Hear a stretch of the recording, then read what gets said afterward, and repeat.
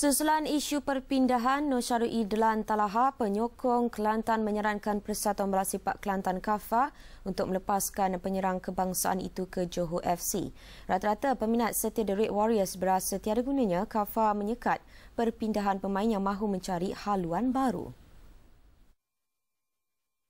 Kita merelakan pemergian Mak Yu sebab bagi kita uh, bola sepak ni sekarang ni dah jadi satu industri jadi bagi saya sendiri kita kalau kita nak kecapi macam liga Inggeris apa semua kita perlu bersedia dari sekarang dari segi soal perpindahan pemain.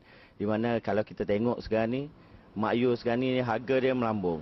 Jadi ini salah satu kita kata motivasi untuk pemain-pemain lain kalau nak jadi hebat, harga tinggi, gaji mahal, pemain itu kena berusaha dari sekarang untuk meningkatkan prestasi beliau. Jadi di sini kita rasa satu titik tolak dalam kebangkitan bola sepak di Malaysia. Demi masa depan Mak Yo, saya rasa elok jugalah kita sebagai penyokong Kelantan um, apa ni dengan secara terbuka, fikiran terbuka melepaskan Mak Yo dan uh, sebagai peminat Mak Yo, saya mengucapkan selamat berjaya kepada beliau uh, sama ada kekal dengan pasukan Kelantan ataupun dengan pasukan baru.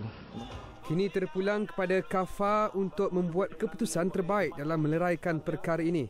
Esrawani cuba mendapatkan reaksi pengurus Kelantan Azman Ibrahim namun beliau enggan mengulas lanjut mengenai isu ini. Tama Azman kata putus mengenai pemain kelahiran Terengganu itu akan dimuktamadkan dalam mesyuarat eksekutif KAFA dalam masa terdekat.